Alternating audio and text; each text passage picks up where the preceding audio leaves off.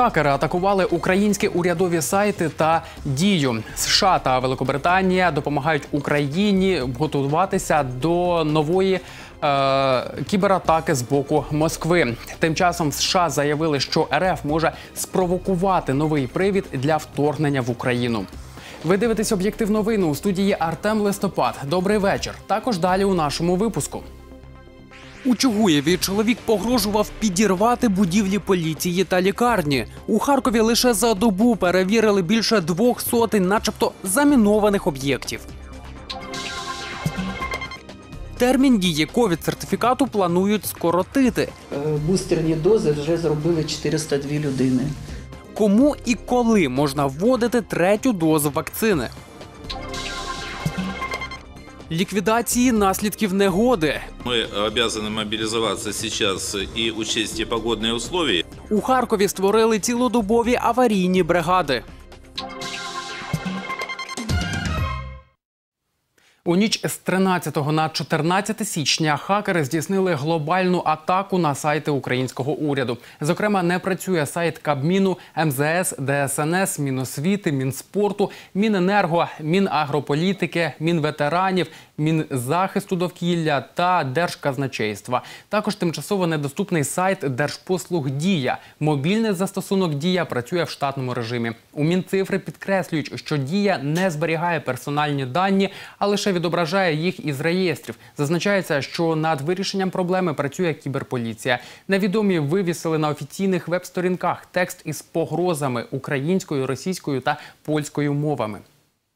Українець, всі ваші особисті дані були завантажені в загальну мережу. Усі дані на комп'ютері знищуються, відновити їх неможливо. Уся інформація про вас стала публічною. Бійтеся і чекайте гіршого. Це вам за ваше минуле, сьогодення і майбутнє. За Волинь, за ООН УПА, за Галичину, за Полісся і за історичні землі.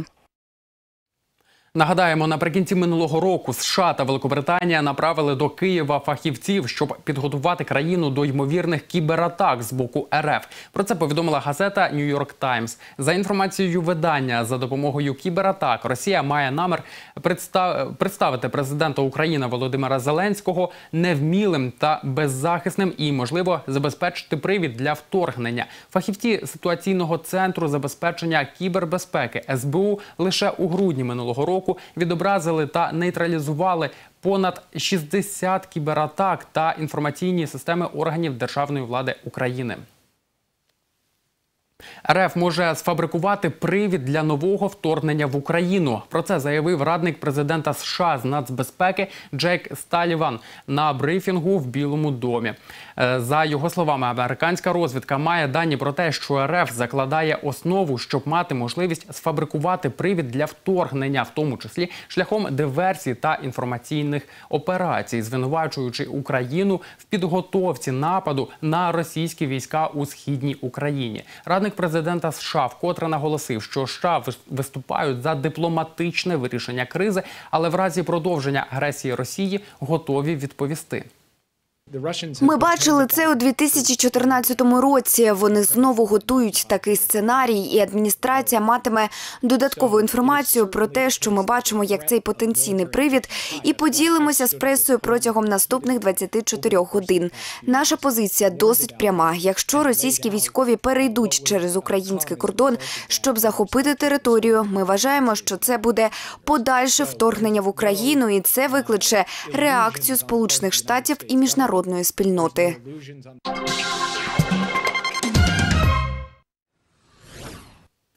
Тільки за минулу добу у Харкові перевірили 234 об'єкти, начебто заміновані невідомими особами. На електронні скриньки правоохоронних органів надійшли листи про закладання вибухівки в райсуді на Валентинівській, 42 торговельних центрах та 191 навчальному закладі, звідки евакуювали більше 4,5 тисяч учнів та персоналу. Вибухонебезпечних речовин фахівці не виявили. За цими фактами триває розслідування.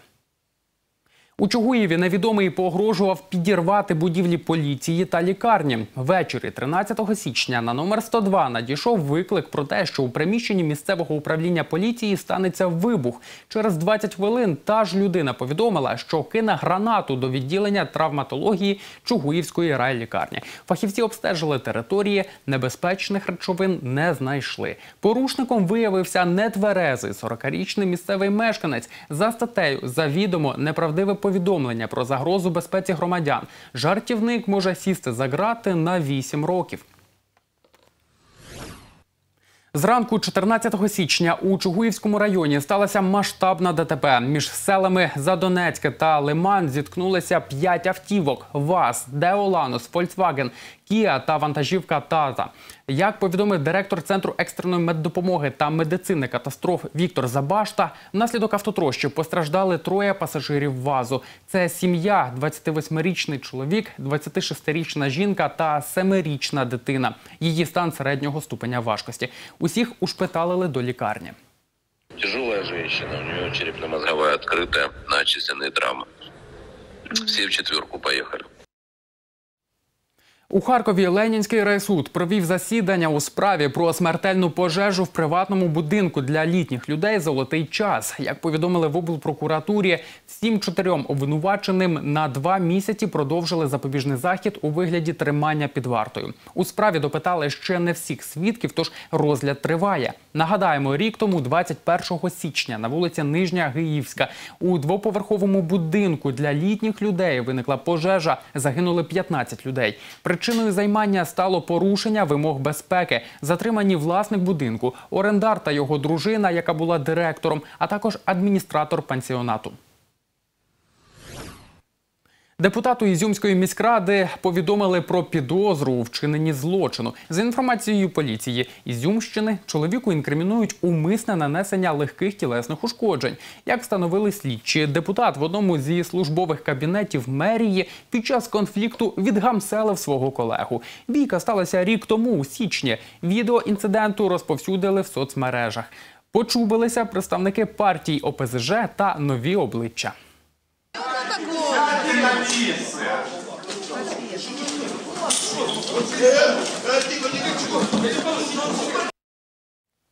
станції метро Майдан Конституції ділянку, де 12 січня обвалилася стеля, вночі 14 числа загрунтували. Про це повідомив директор підземки Андрій Гармаш. Він також зазначив, що тепер на цьому місці планують зробити металеве покриття. Усі роботи обіцяють завершити до кінця наступного тижня. Нагадаємо, великий шматок стелі впав на станції метро перед дверима вхід. Як повідомили в міськраді, внаслідок обвалу ніхто не постраждав. Там габарит э, не позволяет низко опуститься. Мы хотим сделать просечку металлическую, оцинковку и сделать, чтобы попрятать коммуникации, там много разводки всякой и камеры наблюдения, которые доставлять в процессе будем. То есть это даст удобство для обслуживания дальнейшего. У світі другий день поспіль фіксують рекордний приріст нових випадків коронавірусу. Про це свідчать дані сайту світової статистики WorldMeta. Напередодні підтвердили понад 3 мільйони нових випадків коронавірусу. Це майже на 35 тисяч більше від попереднього рекордного значення, зафіксованого днем раніше. Майже третину нових діагнозів встановили у США. Далі йдуть Франція, Італія та Індія. Україна у світовій статистиці займає 35-ту позицію щодо кількості нових випадків та 10-ту за кількістю смертей серед хворих на ковід. На Харківщині продовжує рости захворюваність коронавірусом. За добу виявили на сотню випадків більше ніж днем раніше 691. Дев'ять людей померли. Одужали 226, Повідомляють на сайті РНБО. Повний курс щеплення пройшли майже 987 тисяч мешканців області. Тільки першу дозу отримали мільйон та понад 91 тисяча. За даними МОЗу, 587 осіб вакцинувалися додатковою дозою. Ще 3118 бустерною. Додаткова та бустерна доза вакцини це одне і те ж саме. Як заявили в МОЗі, в Україні незабаром скоротять дію ковід-сертифікатів. Вона за євростандартом складатиме 270 днів. Тож за умови чого дію документу можна буде продовжити, розбиралися наші журналісти. В Україні скоротять дію ковід-сертифіката, заявили в Міністерстві охорони здоров'я. Він буде актуальним 9 місяців. Тож бустерну, тобто третю дозу вакцини, тепер можуть колоти всім охочим. Бустерна доза це е, добровільне е, діло кожної людини. Якщо людина вважає для себе важливим зробити бустерну дозу, вона повинна звернутися до свого сімейного лікаря і з'ясувати ситуацію стосовно можливості провести бустер- бустерну вакцинацію. або у будь-який центр масової вакцинації, е, пред'явити свою посвідку особистості. Незалежно від того, яким препаратом людина робила перші дві дози, для бустерної треба обирати тільки МРНК вакцини. Це Pfizer або Moderna. Максим Хаустов запевняє, змішання не буде, адже через півроку після щеплення дії препаратів в організмі майже завершується. Третю дозу бажано робити через 6-9 місяців після другої, виключно для посилення імунітету. Якщо людина отримала другу дозу і ще не пройшло півроку, то у неї теж самий імунітет буде, як і після бустерної дози. На вчорашній день у нас була Модерна і Pfizer, а на сьогоднішній день е, залишився майже в усіх поліклініках тільки Pfizer. Модерну всю відпрацювали, але Модерна буде. Ми дали вже заявку. Після бустерної дози ковід-сертифікат буде продовжено ще на 270 днів, запевняє Максим Хаустов. Паперову довідку можна отримати у сімейного лікаря. В додатку Дія оновлений документ має з'явитися до кінця січня. Пояснює чиновник, і чим відрізняється додаткова доза щеплення від бустерної. Додаткова доза стосується людям, які хворіють на імунодефіцитні стани або приймають е, високі дози кортикостероїдів. Їм е, вона вводиться для посилення імунітету і не продовжує дію сертифікату. Вже е, люди роблять і додаткові вакцинації. 1848 е, людей зробили додаткові дози. І бустерні дози вже зробили 402 людини. На сайті МОЗу єдиним протипоказанням до щеплення від ковід вважають алергічну реакцію на першу дозу вакцини, наприклад, анафілактичний шок. Не радять щеплюватись і за температури тіла вище 38 градусів. У нас повний курс щеплення пройшло 46%, і хоча б отримало одну дозу вже 51% населення регіону. Зараз, якщо людина отримала першу другу дозу, то е, вона повинна е, отримати і бустерну дозу. Максим Хаустов нагадує, що щепитися проти ковід можуть і діти у віці від 12 до 18 років. Їм дозволено застосовувати лише вакцину Pfizer. Обов'язковою умовою є дозвіл батьків та відсутність протипоказань від сімейного лікаря. Віта Чуп, Олександр Лагутін, медіагрупа Об'єктив.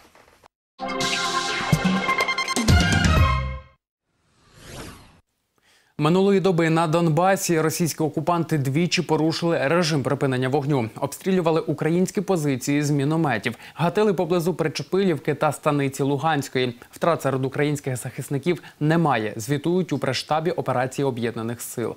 Від початку поточної доби порушень з боку військ РФ не зафіксовано. За минулу добу підрозділами поліції, що задіяні в операції об'єднаних сил, перевірено 3149 транспортних засобів, 3322 особи, одна особа на причетність до збройних формувань Російської Федерації. А також виявлено 18 адміністративних правопорушень та розкрито 38 злочинів.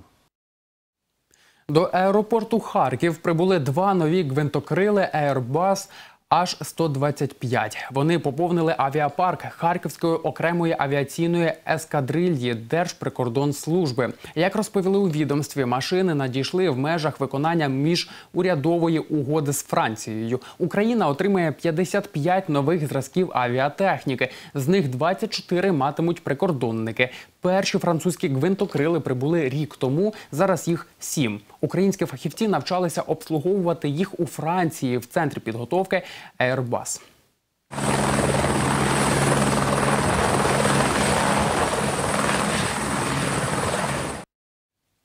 Харківські комунальники готуються до ліквідації наслідків негоди, яку прогнозують на найближчі три дні. Для цього створили аварійні бригади, які працюватимуть цілодобово. Про це повідомив перший заступник мера Харкова Олександр Новак. Водночас, 14 числа в місті наводять лад 1458 двірників. Додала директорка КП Харків Благоустрій Катерина Слівінська.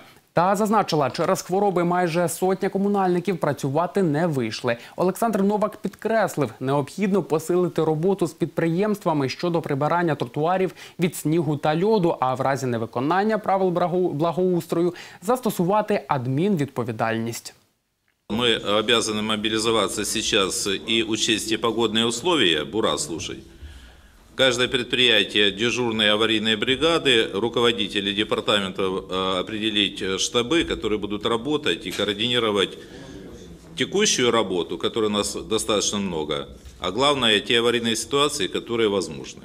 Остается, конечно, у нас проблемные вопросы, это по внутриквартальным проездам. Ну, все понимают, почему они, но стараемся э, в некоторых э, местах, там, где склоны, и ДЭО помогает, там, где они могут проехать для того, чтобы посыпать, и КВБО помогает.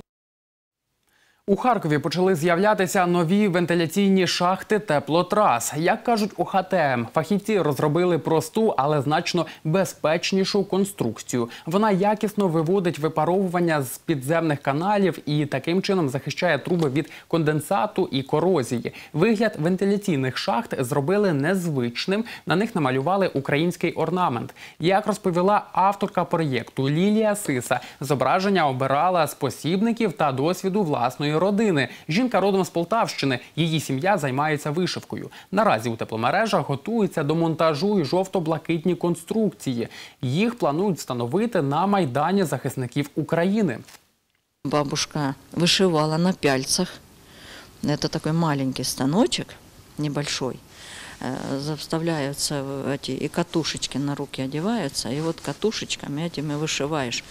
Это на район, на область я видела только двух женщин, которые на таких станочках вышивали. У меня единственный один дома рушник. Это моя ценность, который вышитый всеми. Они все виды рисунков, прош, затяжек. Предыдущие старые наши вентиляционные шахты имели дверцы. Ну, в основном, конечно, вандалы ломали, и туда могли, короче, попасть э, посторонние лица. Ну, поэтому вот на сегодняшний день мы имеем такую картину, и вроде, вроде см- смотрится. Первые 10 штук мы сейчас сделали. Ну, я думаю, э, всем понравится.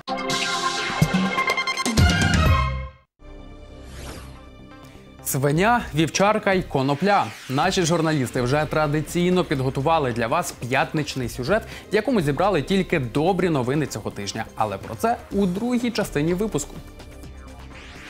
Замість директора головна бухгалтерка. Це дійсно бажання деяких членів комісії усунути мене від конкурсу, а і навіть не дати ну, висловитись. Чому театр Пушкіна 10 місяців працює без керівника? Новий квест Тигрознавці. Ближче познайомитися з цими дивовижними тваринами У харківському зоопарку готуються до нового року за східним календарем. Щедрування, посівання і ворожіння. Летіла курка та з перевулка та бабин мак. Я тобі бабу защедрую, дай п'ятак. 14 січня відзначають новий рік за старим календарем. Усунули через відсутність сертифікату щодо рівня володіння українською. Учасниця конкурсу на посаду директора Харківського театру імені Пушкіна Світлана Олешко наголошує, таке пояснення її дискваліфікації не обґрунтоване. Це підтверджують юристи і співавторка відповідного закону. Чому ж театр й досі без директора? Та чи зможе Олешко претендувати на керівну посаду? З'ясовувала Ніколь Костенко. Уже 10 місяців театр імені Пушкіна без директора. Із 2015-го його очолював Сергій Бичко. Однак минулоріч на сесії Харківської облради контракти з ним не продовжили. Не вистачило депутатських голосів. или там сколько-то депутатов вообще проголосовали. Мне показалось, что какая-то ситуация, напоминающая, ну, как бы помягче сказать, в сторону театра плевок. Тож в облраді оголосили конкурс на посаду директора театру. Брати участь у ньому цього разу Сергій Бичко не став.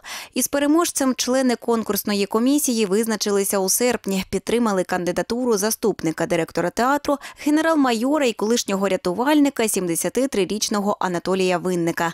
Проте тоді керівником установи він так і не став. У вересні на сесії облради депутати не підтримали його кандидатуру необхідною кількістю голосів.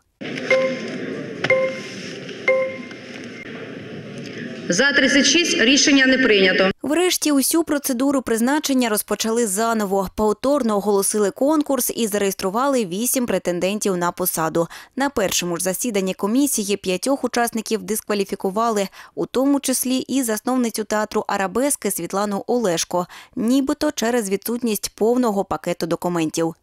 відсутній документ, який підтверджує рівень володіння українською мовою згідно такої-то статті 10 Укра- закону України про забезпечення функціонального ем, української мови як державної. Це питання вивчалося юристами апарату, тому е, я буду от- отримуватися. Про компетентність Світлани Олешко як керівниці на засіданні заявляли одразу декілька членів комісії і стверджували, у її володінні державною мовою немає жодних сумнівів. Она владеет э, украинской мовой добре, это не, не, не, в- не, в этом, не в этом дело. Просто здесь есть ряд кандидатов, которые не имеют опыта в, в этом смысле. Вот это самое страшное. Ми представники культури і не знаємо, хто така Світлана Олешка, чим вона займається, і очевидно знаємо її досвід і управління і її української мови. Ну, Тому я думаю, що це не питання, це формальність. Врешті більшість членів комісії наголосили, на першому етапі відбору фаховість кандидатів не розглядатимуть. Головну увагу приділятимуть виключно юридичним аспектам. Это Если- та если- если формальность, есть- которая если- может потом заблокировать эту кандидатуру. Вдруг э, протест. Ну, я бы, будет. я, ну, Відсторонення Олешко від конкурсу викликало резонанс у суспільстві та серед діячів культури. Сама жінка коментує дискваліфікацію так. Це дійсно бажання деяких членів комісії усунути мене від конкурсу, а і навіть не дати ну, висловитись. Олешко запевняє, готова скласти необхідні іспити. Я вивчала українську мову не тільки в школі, а ще в університеті, ще в аспірантурі. Ці документи в мене є. Я їх не подала, тому що закон про культуру не вносить цей документ в список необхідних документів, які треба подати. Співавторка закону про конкурсні комісії Ірина Подоляк погоджується, аби брати участь у відборі, кандидату достатньо надати лише атестат про повну загальну середню освіту, якщо той вивчав українську в школі. Якщо в середній школі не вивчала українську мову як предмет, то тоді вона повинна скласти е, іспит, що не є жодною проблемою, і пред'явити сертифікат. А от юрист Олексій Головін пояснює, на якому етапі кандидат усе ж має пред'явити сертифікат щодо володіння солов'їною. І так дійсно е, там державні службовці мають е, такі документи надати. Але питання коли в законі України про мову зазначено, що документ на підтвердження рівня володіння повинен бути наданий до обрання або призначення. Причому обрання тут мається на увазі не на конкурсній комісії, а обрання мається на увазі президента, депутата. Тож, констатує юрист, претендентку дискваліфікували незаконно. А от Світлана Олешко додає, дізналася, що незабаром члени комісії знову зберуться, аби вирішити, чи допускати її до наступного етапу конкурсу. Будемо дивитися з юристами, наскільки будуть законними е, дії комісії, наскільки вони дотримаються е, регламенту, і будемо з цього виходити. Наразі ж обов'язки директора театру Пушкіна виконує його головна бухгалтерка Олена Ткаченко. Ніколь Костенко, Олександр Воробйов, медіа групи Об'єктив.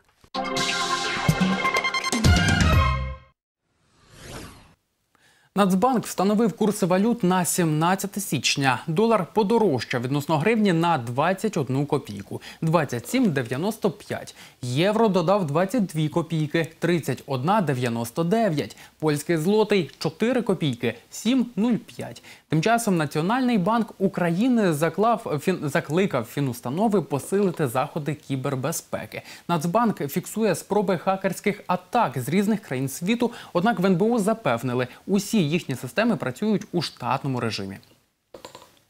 Час об'єктивних цін. Ми регулярно перевіряємо вартість одного з популярних товарів у супермаркетах міста, аби ви не переплачували. Сьогодні в огляді розчинна кава, на якій ви можете зекономити більше 13 гривень.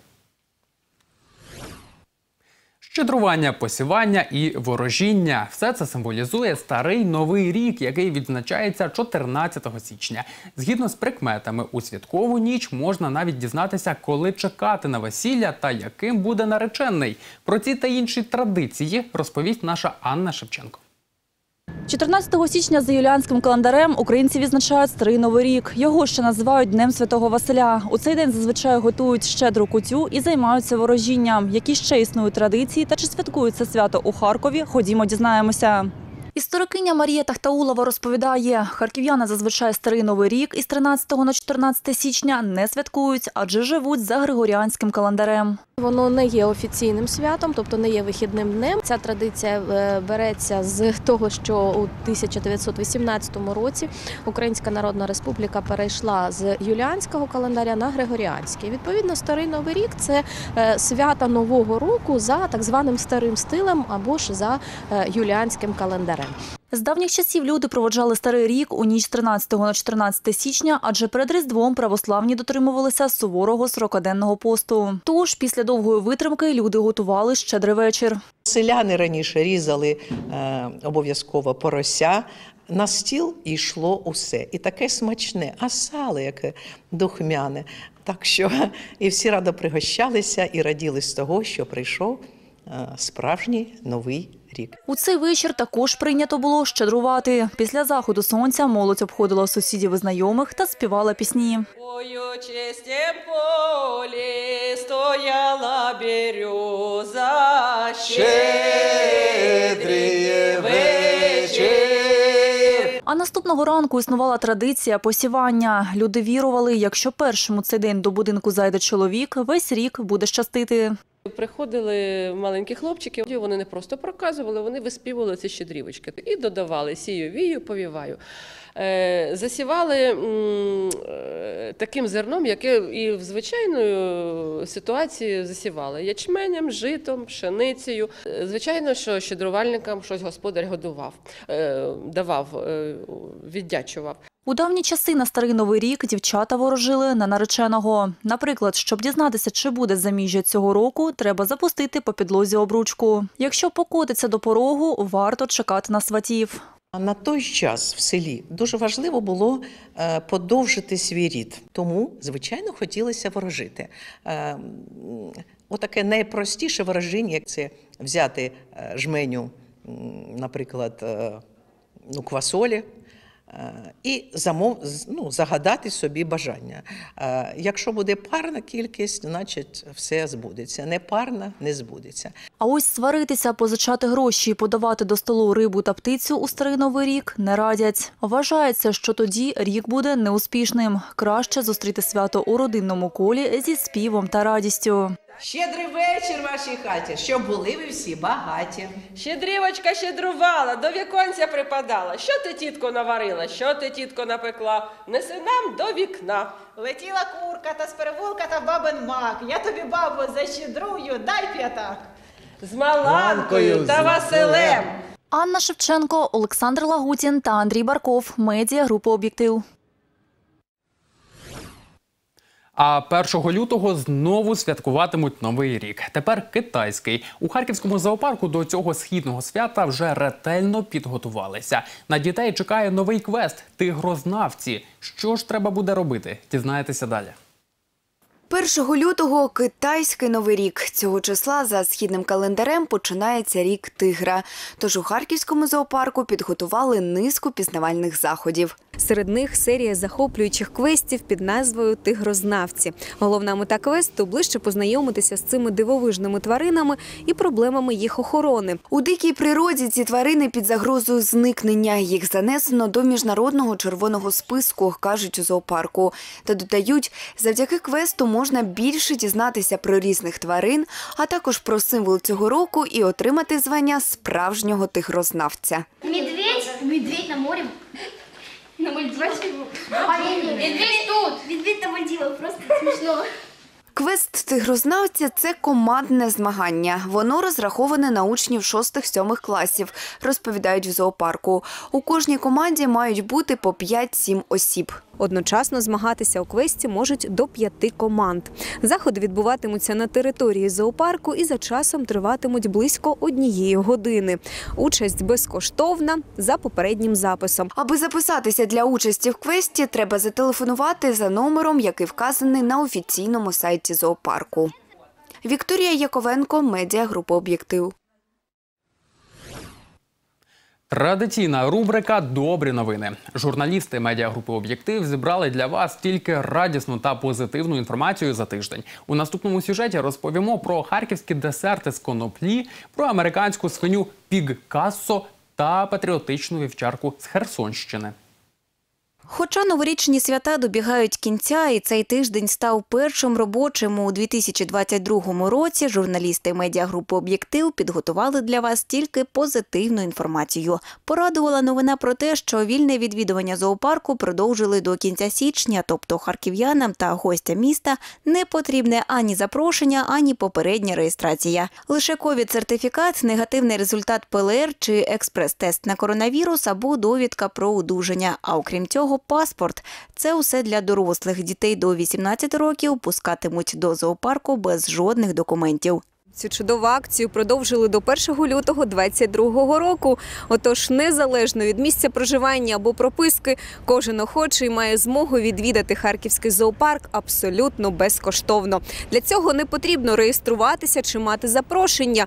Незвичні десерти у Харкові виготовляють солодощі на основі коноплі та інших натуральних інгредієнтів. Смаколики не містять цукру та глютену, запевняють виробники. Увесь процес приготування бачили наші журналісти. Зелена гречка, конопля, семена льна, черный тмин, которые у нас растут. Их у нас покупают э, туда, чтобы это все использовать в каких-то продуктах, суперфудах, а мы этого как бы не ценим. Добрі новини у світі. Дворічний хлопчик на ім'я Кензо зачарував користувачів соцмереж схожістю на одного з головних героїв нового американського анімаційного фільму. Під час інтерв'ю для телеканалу ABC News мати Кензо розповіла, дивилися мультик на зимових канікулах, коли на екрані з'явився персонаж на ім'я Антоніо. Малюк помітив свою схожість на героя, сів поближче до телевізора та почав аплодувати. А от у південній Африці виявили першу у світі свиню художника. Тварина на прізвисько Піккасо живе в притулку, малює із 2016-го. І з тих пір свиня створила сотні картин. Одну з них продали за 24,5 тисяч доларів.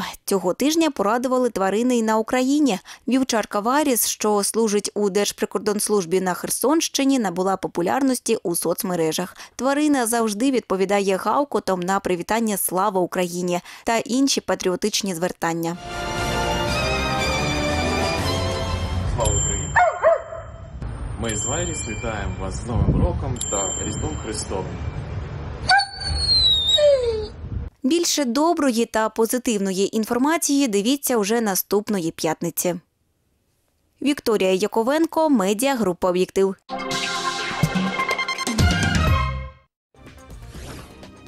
І на цій добрій ноті ми завершуємо випуск. Дякую за те, що з нами. Більше інформації читайте на сайті медіагрупи Об'єктив та не забувайте про наші соцмережі.